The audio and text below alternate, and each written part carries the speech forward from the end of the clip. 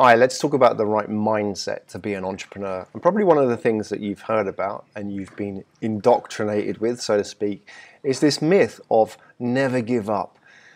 And us entrepreneurs starting out, we often hear this that a mix of follow your passion plus never give up is the secret formula to success. And we believe this because we see it everywhere. It's replicated in every piece of cultural media out there.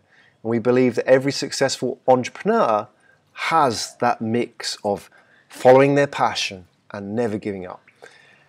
And what I want to share with you now is that belief is perhaps one of the strongest beliefs that hold us back in business. That we believe that simply having something we're passionate about and being so pig headed that we never give up and we never quit, that we will follow through and be successful. Because we hear it all the time quitters never win, winners never quit. And if you quit, it's almost like you're a failure in yourself, right? There's a bit of a macho attitude towards business there. But what I want to share with you today is that actually winners quit. Winners quit all the time. It's losers that aren't able to quit. Losers aren't able to quit because they're too scared of what other people might think of them. So let's talk about this whole idea of never give up. Now, I understand what to never give up means. I did an Ironman triathlon. And if you're new to Ironman triathlon, let me just tell you what it is. It's a, a 4K swim, 180K bike, and a marathon.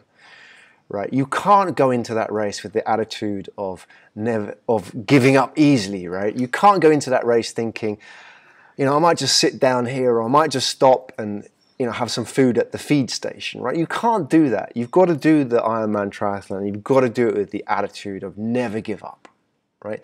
So yes, I have that attitude, but I have that attitude when it comes to sport, when it comes to hobbies, because there's a big difference between Ironman triathlon and business, and there is a big difference, but the media kind of blurs that because we kind of get all these analogies of sport applied to business about teamwork, being a team player, having a goal.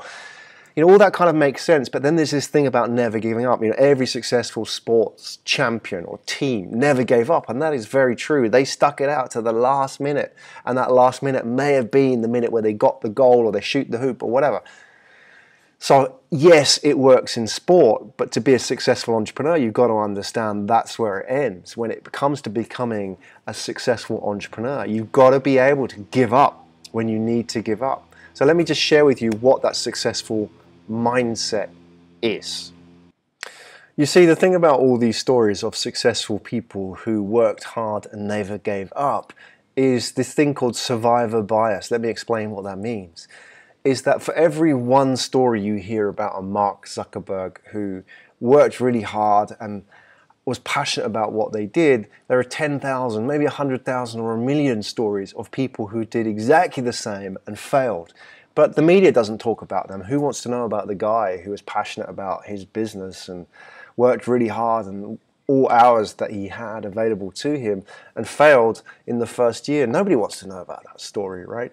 But that's the problem is that this survivor bias shows us an image of what entrepreneurs are, but it doesn't show us the image of what happens behind the scenes.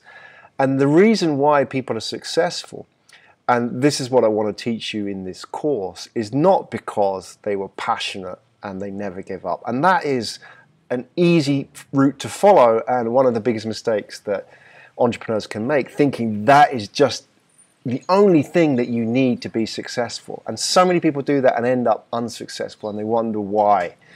The key to being successful is to being able to test and to validate. And what I mean by that is to get into the game fast, to launch fast, to know what your customers want fast, to launch cheaply, and to get to the market cheaply. So to validate and test your ideas and your business is key because every successful entrepreneur out there has at some point gone through this process and this is what I want to teach you in this course. Sure, you need to be passionate and you need to not give up, never give up. These make sense, but that isn't the formula. That just gets you started. That gets you into the game. Winning the game is understanding how to test and how to validate your ideas and your products. So, let's go on. That's what we're going to learn next in this course.